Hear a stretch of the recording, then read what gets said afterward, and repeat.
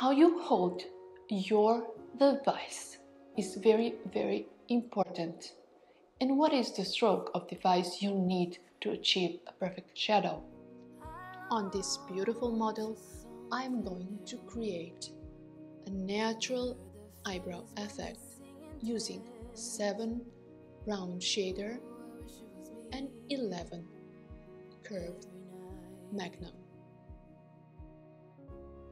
And we need to start from the scratch by going deeper into the needle knowledge and how effects we receive by using one round liner or flat magnums.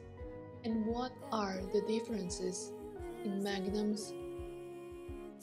What are the differences in tapers how we actually position our needle and what is a stroke plant?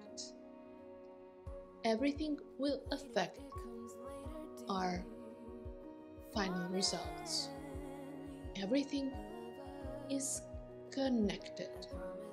To have an extraordinary, beautiful healed results through the time, you must understand what we are implementing into the skin.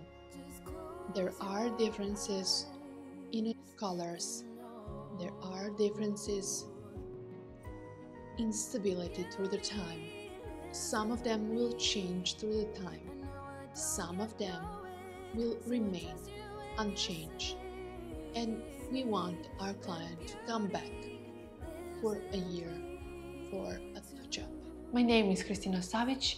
Follow my course to learn to work in just 40 minutes to save your time and to speed up all the treatments you have